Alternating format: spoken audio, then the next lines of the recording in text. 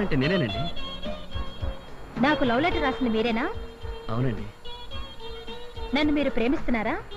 ప్రేమించబట్టే కదండి మీకు love letter రాశాను. నా కోసం మీరేమైనా చేస్తారా? Oh yes. సముద్రం అవతల ఒడ్డుకి వెళ్ళి వచ్చేయమంటారా చెప్పండి. అవతల ఒడ్డే లేని సముద్రంలో అంత సాహసం చేయనవసరం లేదు. నేను మిమ్మల్ని పెళ్ళి చేసుకుంటాను. But one condition. ఒక్కటేమిటండి వంద. వంద కండిషన్లు అయినా సరే చెప్పండి. I'm ready. ఓకే. ఇది నా ప్రాణ స్నేహితురాలు స్వాతి. హాయ్. మా ఇద్దరిది ఒకే ప్రాణం ఒకే మంచం ఒకే కంచం. మేమిద్దరు ఒక భర్తకే భార్యలు కావాలనుకున్నాం. కాబట్టి మీరు మా ఇద్దరిని పెళ్ళి చేసుకోవాలి?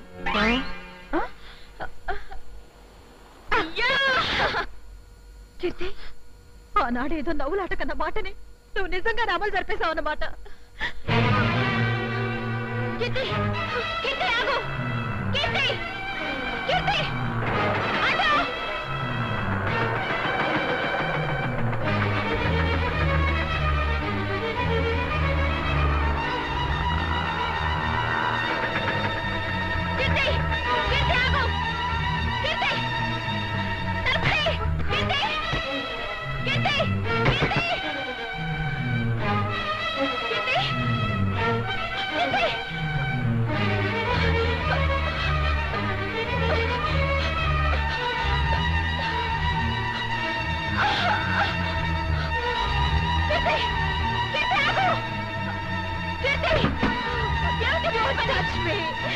వదలు అయ్యో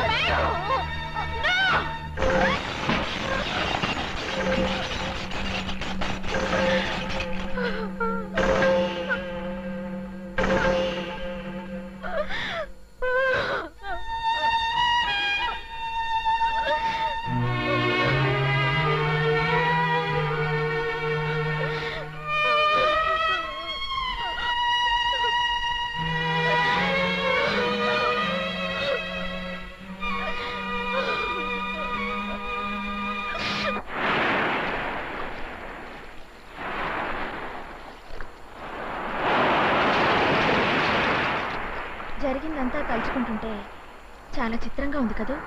చిత్రంగా ఉండడమే కాదే నా మీద నాకే చాలా అసహ్యం కోపం కలుగుతున్నాయి. అందుకేనా?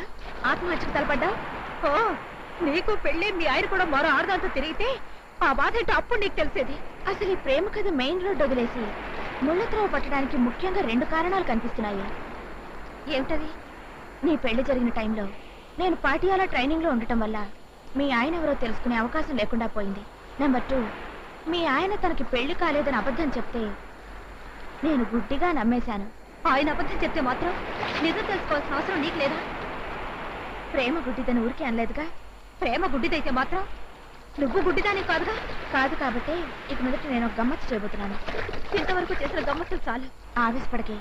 ఒక విధంగా నువ్వు చాలా అదృష్టవంతురాలు నేను అదృష్టవంతురాలు టెన్ పర్సెంట్ నువ్వు అదృష్టవంతురాలివేనే. ఎలాగంటే మీ ఆయన నా వెంట పడ్డాడు. అదే మీ ఆయన మరో అమ్మాయి వెంట పడుంటే నీ భవిష్యత్ ఏమిటి?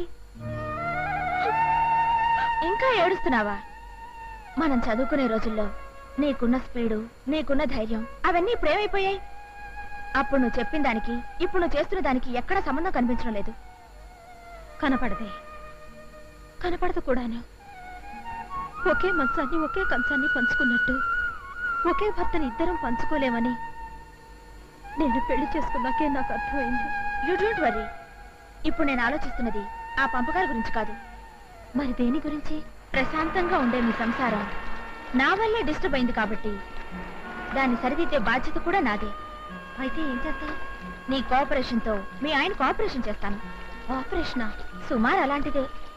నాకు అర్థమైన దాన్ని బట్టి మీ ఆయనలో తొంభై వంతులు మంచితనం పదొంతులు చపలత్వం ఉన్నాయి. ఇప్పుడు మనం ఆడబోయే నాటకంతో మీ ఆయనలోని చపలత్వం చచ్చిపోయి స్వచ్ఛమైన మీ ఆయన నీకు దక్కుతాడు. మన ఆడవాళ్ళమయ్యండి జీవితంలో నాటకాలు ఆడడం అదిగో ఆ మాట అంటేనే నా కొళ్ళు మండుతుంది. పెళ్ళా ఉండగానే మరో అమ్మాయితో ప్రేమ సాగిస్తూ డబుల్ గేమ్ ఆడటం వల్ల ఎలాంటి ఇబ్బందులు ఎదురవుతాయో మీ ఆయనకి తెలియచేయాలి. ఇప్పుడు నేను విత్డ్రా అయినా రేపు మీ ఆయన మరో అమ్మాయి వెనకాల పడకుండా కట్టుదిట్టం చేయాలి. దానికి మనం నాటకం ఆడడం తప్ప? ఆడచ్చు కానీ నాకెంతో భయంగా ఉంది. నీకు భయంగా ఉంటే మీ ఆయన నాకు వదిలే మా అన్నయ్య నాకు సంబంధం తీసుకొస్తున్నాడు. ఒకవేళ అది నిశ్చయమైతే మన సంగతి అంతే. ఆ సంగతి నాకు వదిలే రేపు మీ అన్నయ్యని ఎలా వంకాయలా వేపేసి ఆనపకాయలా పులుసు పెట్టేస్తానో నువ్వే చూస్తావుగా? మీ సంబంధం మాకు అన్ని విధాలా నచ్చిందండి. అయితే నువ్వు వెళ్ళి టిఫిన్స్ పెట్టరావే. ఎలా నిలబడి చూస్తావేంటి? ఇలాంటి విషయాలు గుర్తున్నావు నీకు. తీసుకోండి సార్. గాజువాక స్పెషల్ జిలేబీ చాలా బాగుంటుంది. అమ్మ మీరు కూడా తీసుకోండి.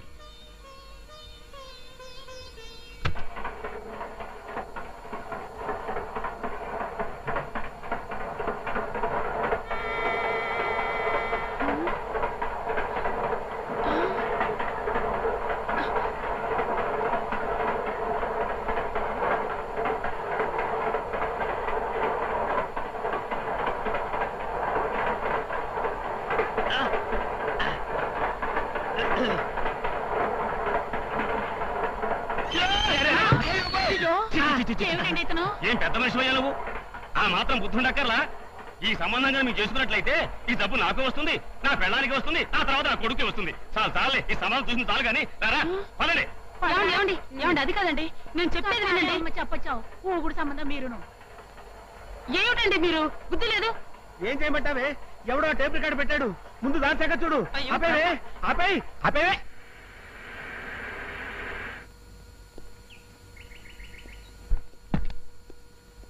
కీర్తి కీర్తి కీర్తి కీర్తి. కీర్తి.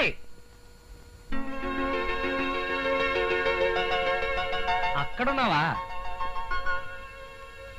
ఎవరి భార్యమణి నేను లేని ఈ వారం రోజులు ఎలా గడిచాయి? మామూలుగానే ఉదయం అవగానే తెల్లారేది చీకటి పడగానే రాత్రి అయ్యేది. అలాగా? నేను ఊళ్ళో లేనప్పుడు రాత్రిపూట వెళ్తురు పగటిపూట చీకటి వస్తుంది అనుకున్నానే అన్నట్టు మన మ్యారేజ్ డేకి ఒక ప్రత్యేకమైన కార్డు కొని దాని మీద గేయింగ్ కూడా రాసి మరీ పంపాను. అందిందా? అందింది కాబట్టి ఇంత ఉత్సాహంగా ఉన్నాను. అందులో మీరు రాసినట్టే ఇక మీదట మన జీవితం తుళ్ళి తుళ్ళి సాగుతుందిలేండి. థ్యాంక్స్. అన్నట్టు అర్జెంట్ పనుంది ఒక అరగంట వచ్చేస్తాను. ఇప్పుడేగా వచ్చారు మళ్ళీ ఎక్కడికి చాలా thickest friend. Half an hour వచ్చేస్తాను కదా.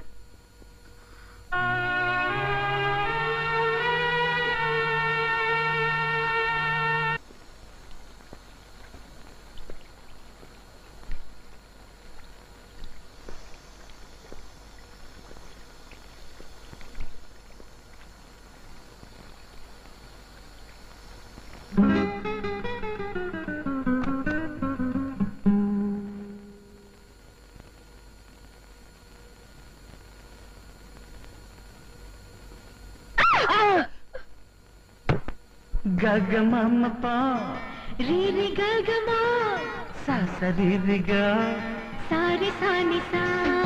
బాతురమ్మ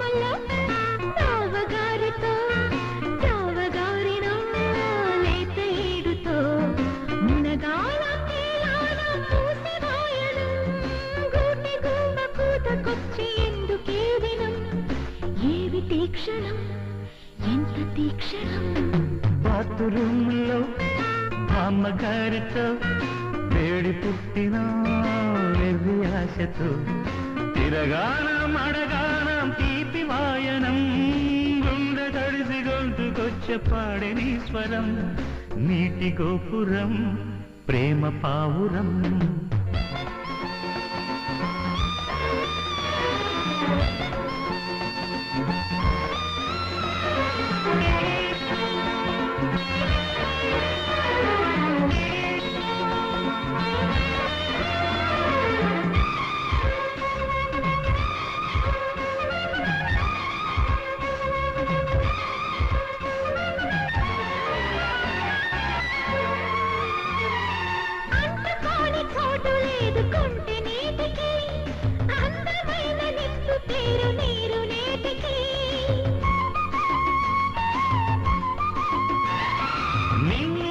తాకి గురుతున్న నీరు ఆవిరి.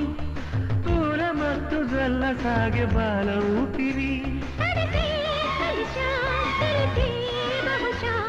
ఆయుధు పాను ఆపలేక నేను ఈ దినం ఏమిటి క్షణం? ఎంత తీక్షణం?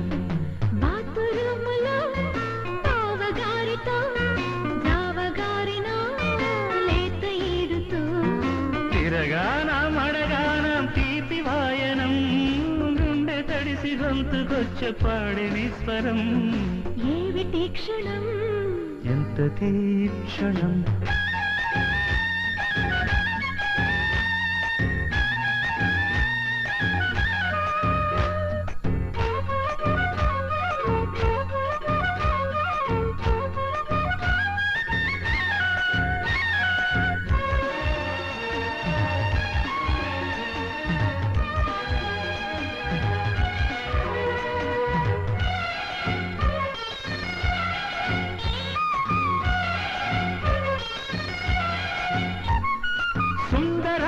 చూపు కన్న సోపు లేదులే.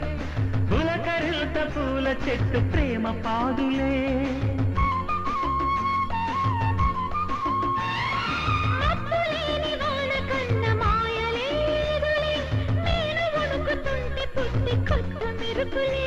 ఒకటే అడుగై ఒడిగే.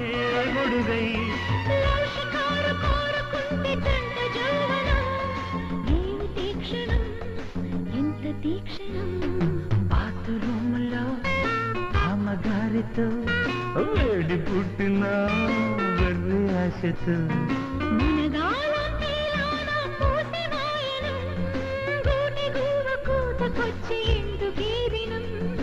ఏమిటి క్షణం?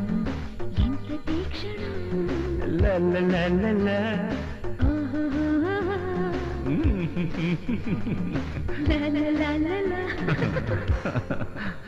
ఏంటి అలా ఉండిపోయారు? మన పెళ్ళి ఎప్పుడు అని అడుగుతున్నాను.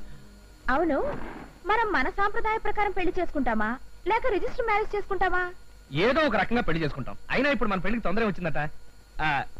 ఇదే అమెరికాలో అయితే ఆడామగ నలభై ఏళ్ళు వచ్చే వరకు గాఢంగా ప్రేమించుకుని ఆ తర్వాత పెళ్ళి చేసుకుంటారట. ఇప్పుడు మనం ఉండేది అమెరికా కాదు కదా ఇది ఇండియా. అయితే ఇప్పుడు మనం ఏం చేద్దాం? వీలైనంత త్వరలో మన పెళ్ళి జరిగిపోవాలి అంటాను.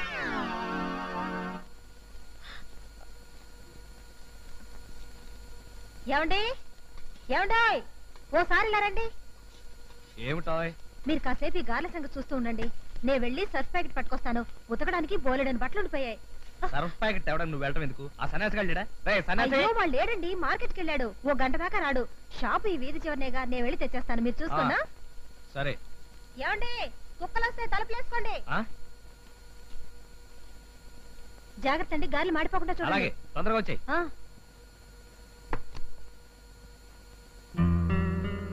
స్వాతి వచ్చేసావా. త్వరగా వెళ్ళు. అలాగే. నీ చేతులు తాటాకు మట్టలా అయిపోయాయి కీర్తి. అయినా మీరు బట్టలు ఉతకడం నాకు అస్సలు నచ్చదండి. మరేం భయం? మరేం భయం లేదు. భర్త అంటే భరించేవాడనే కాదు. బట్టలు ఉతికేవాడని కూడా అర్థం ఉండట